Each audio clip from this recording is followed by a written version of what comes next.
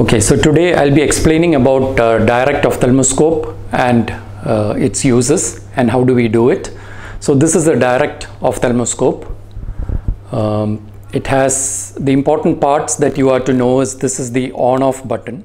You press this green button and twist it and the light comes on. Then you have some knobs here which change the aperture size and then you have a green filter this dial here again changes the aperture size and you have the cobalt blue filter on this and there's a dial to the side which uh, gives you the power of the lens through which you see. So if, if the if you as a doctor has a refractive error and you don't want to use your specs you can adjust the power of the lens on that. If the patient has a refractive error again you can adjust it on that. So uh, you can read off the readings of uh, the lens on plus and minus direction on this uh, direct ophthalmoscope.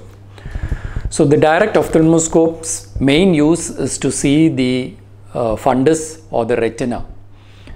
Uh, as another use, preliminary use, you can also use the same instrument for a distant direct ophthalmoscopy. You don't see the retina with that, but you can evaluate the clarity of the optical media through a distant direct ophthalmoscopy.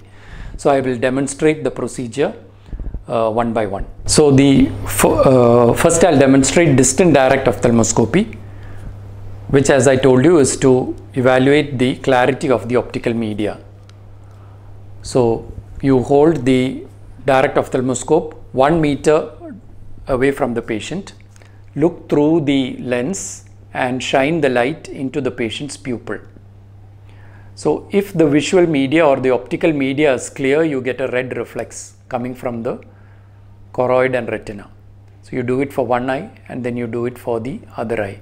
If there is any media opacity, like a corneal opacity, a cataract, a vitreous hemorrhage, the red glow will be impaired depending upon the density of the media. Now I'll be demonstrating how to do direct ophthalmoscopy. So direct ophthalmos for direct ophthalmoscopy, you have to go really close to the patient's pupil and peep through the pupil so that you get a view of the retina. So for the patient's right eye, you hold the ophthalmoscope in your right hand and use your right eye and uh, vice versa for the left eye. It is a uniocular examination. So now I'll be looking at the patient's right eye. I ask the patient to look straight ahead at a far distance so that the pupils are dilated maximally and uh, accommodation is relaxed and then I go close and peep through the pupil to have a view of the retina. I adjust the lens to get a clear view of a blood vessel. Then I trace that blood vessel to the optic disc I look at the optic disc in detail, then follow the other retinal vessels in different directions. So I move my head in different directions to view different parts of the retina. And then finally, I will have a look at the macula which is temporal to the optic disc. The other way you can bring the macula into focus is by asking the patient to look directly into the light. And a light load no kamo? Yes. So this is the most uncomfortable part of the examination, so you reserve it for the end. I will just show you how the left eye uh, is also examined. You switch the ophthalmoscope to the left hand and use your left eye you close your right eye in order to do the examination. Go close, tilt your head, peep through the pupil, identify one blood vessel. If it is not in focus, you turn this dial so that the uh, the object that you're viewing is brought into focus, adjusting for the refractive error that the patient has or you have. And then once you see that blood vessel, trace it back to the optic disc, evaluate the optic disc in detail. From the optic disc, trace all blood vessels in different directions as much as you can. look at the retinal background and look at the macula right at the end.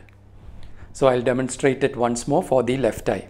Ask the patient to look at a far distance.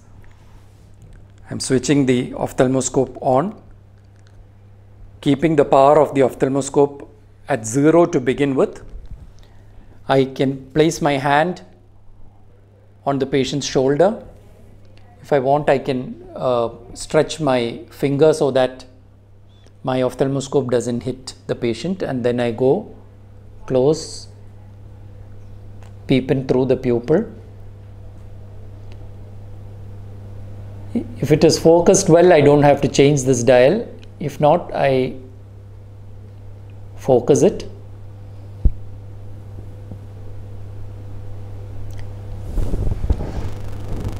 And that's, that's how a direct ophthalmoscopy is done.